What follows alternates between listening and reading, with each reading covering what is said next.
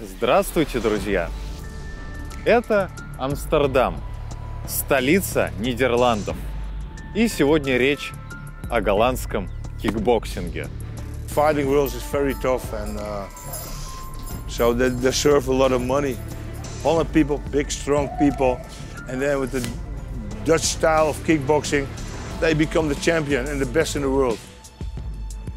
Okay, I want to introduce myself. My name is uh, Bert Kops, Kops Junior, because uh, my daddy is Bert Kops Senior. At the age when I was eight years, I started with wrestling. My father is a Dutch wrestling legend. He was many, many times uh, champion of Holland and uh, world-class wrestler. So I was eight years. I uh, did a lot of wrestling matches. I became champion of Holland when I was junior, and uh, totally more than 20 times I became champion of Netherlands in wrestling. In 1985, my father started the gym, this gym, Kops Gym. So uh, this year we, we celebrated, we, uh, we already 33 years we exist, that long. And uh, in this gym, uh, we do kickboxing, Muay Thai, we do boxing, we do wrestling, of course, but we do also MMA. We have very good MMA fighter, Gegard Mousasi. He's world famous fighter and a world class athlete. When I was a young boy, 15 years, the Dutch kickboxing was very famous already in Holland with stars like Robbie Kaman, um, Jim Vos Gym, Chakuriki Gym, Giro Jim. We had very good fighters in that days. And uh, so I don't know better the Dutch style. Yeah, so nowadays you see in the kickboxing world, in uh, everywhere, they have the same style. They, they, they call it the Dutch kickboxing style. In MMA they say it also. But uh, you have, of course, the Thai style.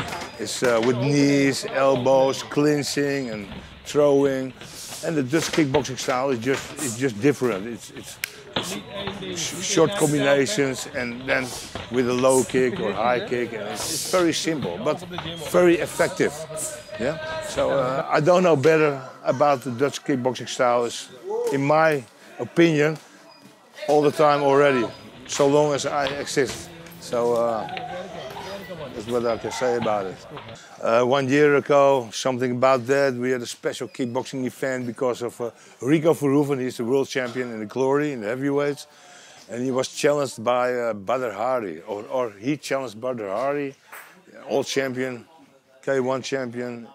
And uh, so there was a lot of popularity under the people. All, everybody in Holland he know about this fight and everybody, millions of people were watching this fight. And yeah, it was the same as uh, Mayweather against McGregor. And um, yeah, it's a big sensation. And people talk about it and uh, every day on television. It makes the sport popular. Every fight has its own story. So once you know the story, it's gonna be it's gonna be a lot more interesting. You know all the ups and downs before the fight, before the uh, you know, in the training, in the dressing room, after the after the fight. You know, if you know all the story, then every fight is interesting.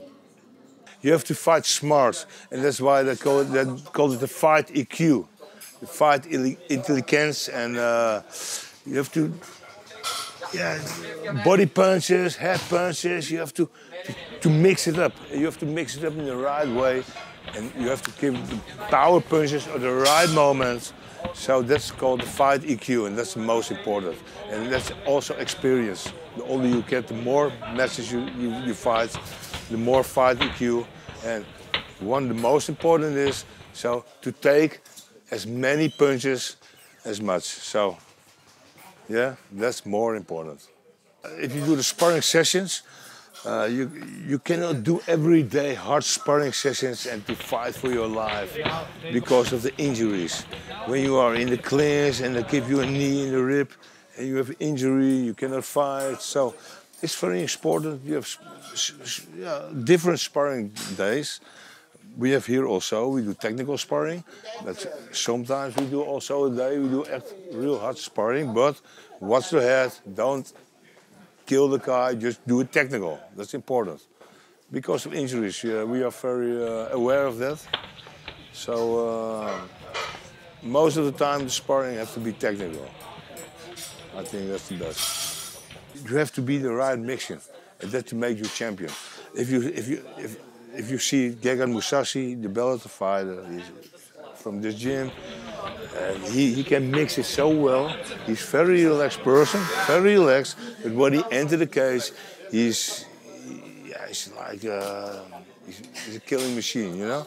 He's very boom boom boom, but also not too aggressive because he's very sportive. That's also very important. You have to be sportive. So when the fighter is down, don't stay, don't keep hammering about this. And that's what he is. also, fight EQ.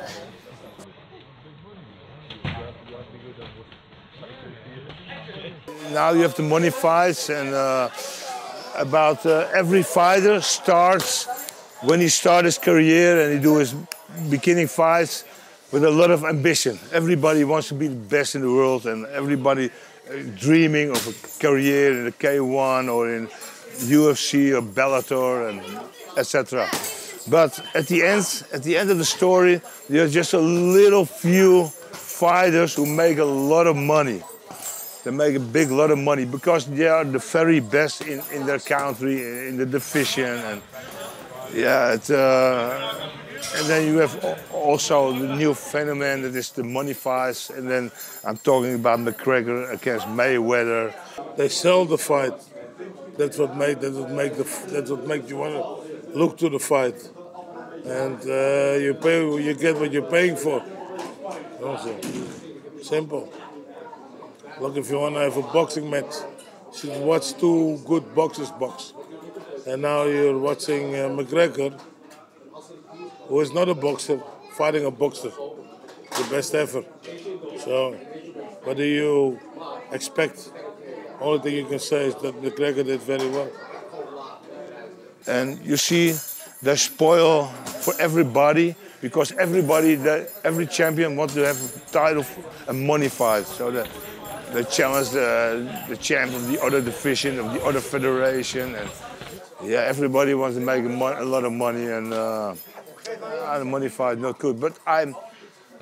My opinion is the, the, the top fighters in the in, the world they have to pay very well, and the top ten in every division they have to pay very well because you have to do a lot about it. You have to train every day. You have to suffer. You have to sacrifice, and uh, it's very tough. Fighting, fighting world is very tough, and uh, so they deserve a lot of money the same as the, the soccer players and uh, the tennis players. The top, the top fighters, they deserve a lot of money. That's my opinion. Yeah. Everybody who is doing the same thing you are is uh, is an opponent, not a friend. And once they come become your friend, that means you cannot fight them anymore. And when you cannot fight them anymore, you, you miss out on the money. So the best thing is not being the friend, because otherwise you cannot make any money anymore. That's my opinion, and I feel strongly about it. You know, you can talk with, with guys, but don't be too friendly. You know, remember, you're in there for, for the money at, at the end. And if you want to make money, you cannot be friendly to everybody. That's the thing.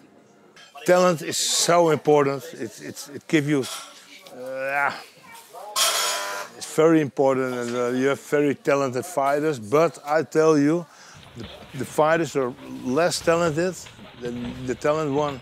And you work hard. It's, it's, it's, a question of hard working, hard working, hard working. And at the end, the fighter who works hard, the, the, the fighter will win.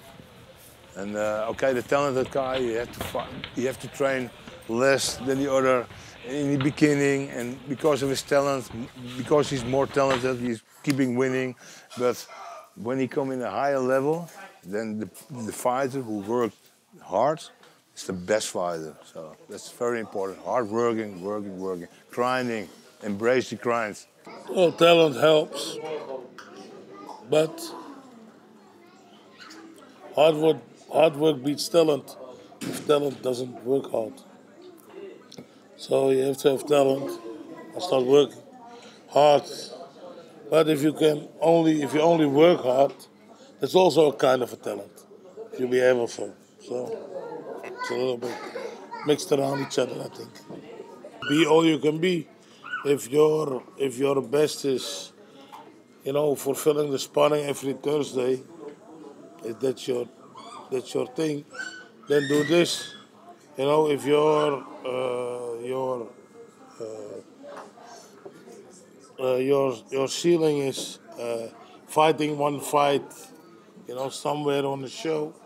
If that's your ceiling, then that that's that. But try to be the best you you can be. So, you know, if you try to be the best every day, you will get better step by step, even if if it's not as hard as. Uh, if it's not if you, even though you don't go as forward as other people think or do or know you know as long as you keep going forward it's enough. And some people can be world champion some people cannot. But for some people the the achievement of making it through the sparring session is harder than for other people to become champion. You know, because they need to come from so far away.